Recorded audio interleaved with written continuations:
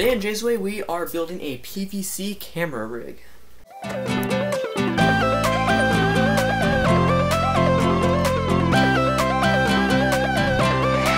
So my idea with this is to just have a basic square out of PVC with handles on the left and right, camera mounted somewhere in the bottom middle, and room on the top for attachments. After some quick notations, I figured out that I needed each piece to be about 13 inches long, so I marked where I needed to cut and cut each piece respectively. After a quick clean, they were ready to be painted. I went with a flat black for this build because I thought it went nicely with the black of the DSLR camera.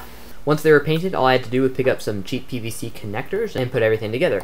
I'm actually going to leave the connectors unpainted because I think the black looks really good with the white. Now, before 3D printing the piece that holds my camera onto the rig, I decided to add some sort of handles or grips to the edges. So now that we have the main body of our camera rig, we just need to figure out a way to attach the DSLR to the rig. And for that, I've 3D printed this handy dandy little piece I've designed. And how this works is it slips over the PVC pipe of my tripod, and then this little piece slides on here to hold the camera onto the piece. The installation of this is pretty straightforward. All we have to do is drill some holes, and then we should just be able to slide it on.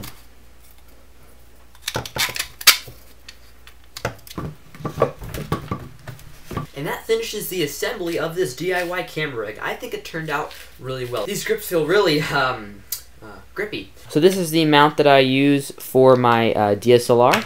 Uh, let me just go ahead and show you how this attaches. So this little black piece right here slides into this 3D printed mount, and then this little piece slides on here. This is hard to do with one hand, but I will try my best. This just slides onto there like that, which holds the whole piece in place. This is with the DSLR attached to the rig. There's not a whole lot of stabilization going on, but it is a lot easier to grip and move the camera around, and you can always lower it down for lower shots as well, which is pretty nice. It definitely doesn't beat my uh, Steadicam, but it still does give some nice uh, versatility for getting the shots I need. And another great thing about this is I can immediately take it off of that and put it directly onto my tripod since I made it with the exact same type of mount.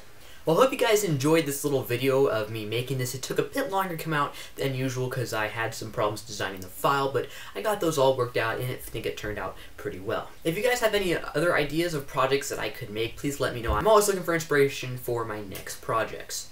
I'm Shai. Thanks for watching. Tchau.